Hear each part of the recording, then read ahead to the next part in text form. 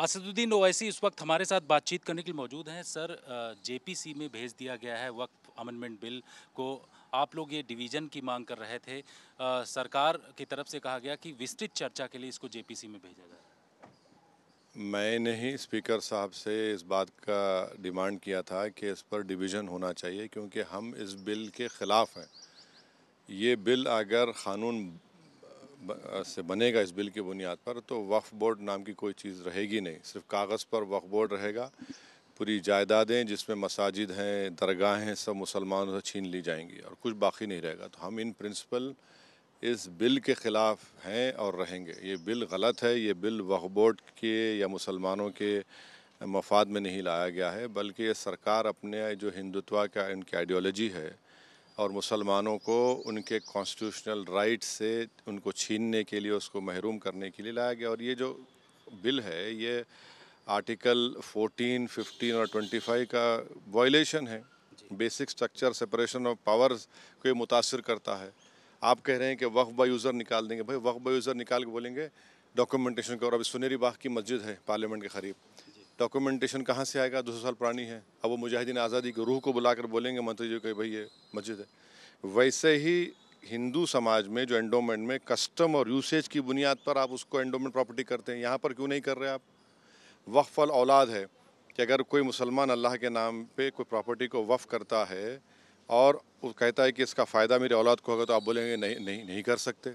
Gift कर सकता है, अल्लाह के नाम पे वफ़ नहीं कर सकता है। और वही हिंदू जो होता है, उसको ये राइट है कि वो अपनी पूरी प्रॉपर्टी विल के ज़रिए किसी अपनी औलाद के नाम पे करे। मुसलमान तो नहीं कर सकता वन थर्ड का मामला आ जाता है।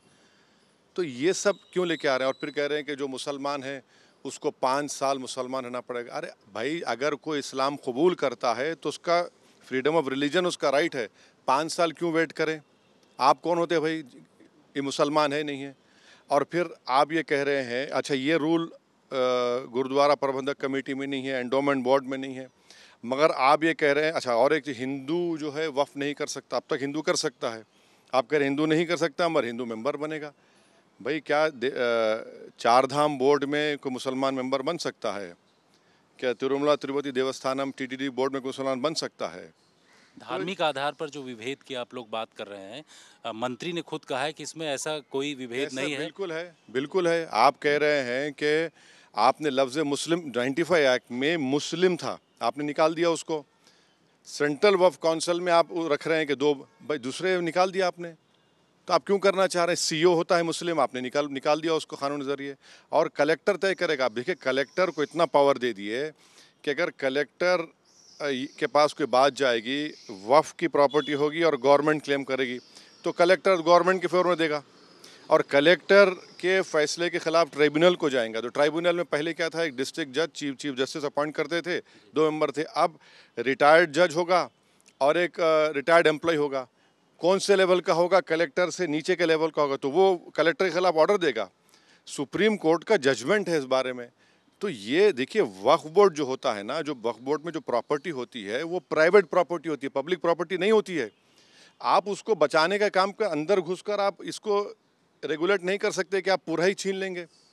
अब वक्फ यूज़र निकाला आपने तो आपकी नज़र पूरे उन उन मस्जिदों पर है जहाँ पर आरएसएस कहती है कि वो मस्जिद नहीं थे।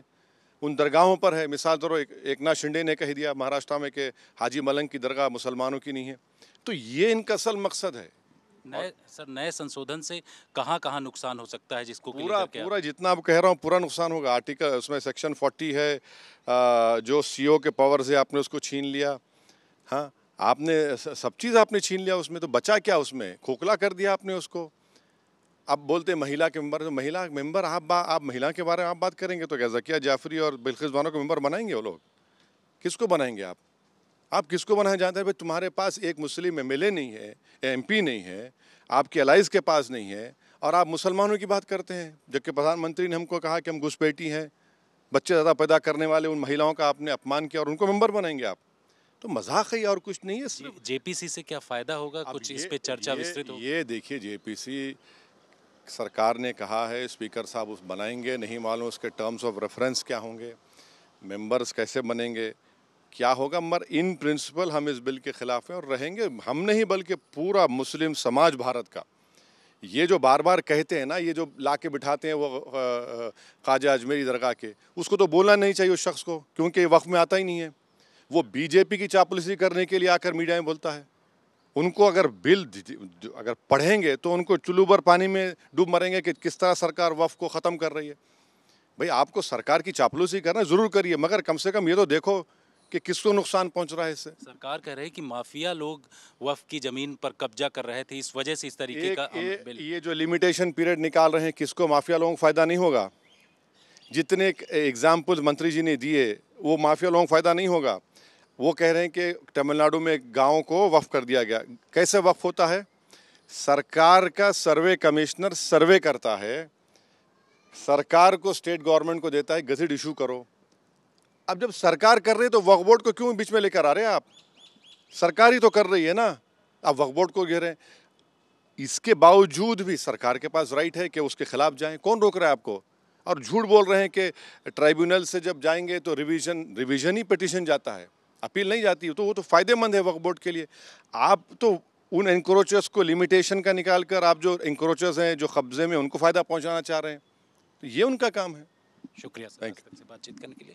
तो ओवैसी की तरफ़ से लगातार कहा जा रहा है कि इस पूरे मामले में जो भी ये बिल लाया गया है चाहे जेपीसी के लिए वो भेजा गया हो लेकिन वो लगातार इसका विरोध करेंगे। कैमरामैन अनिल जायसवाल के साथ जितेंद्र सिंह आज तक।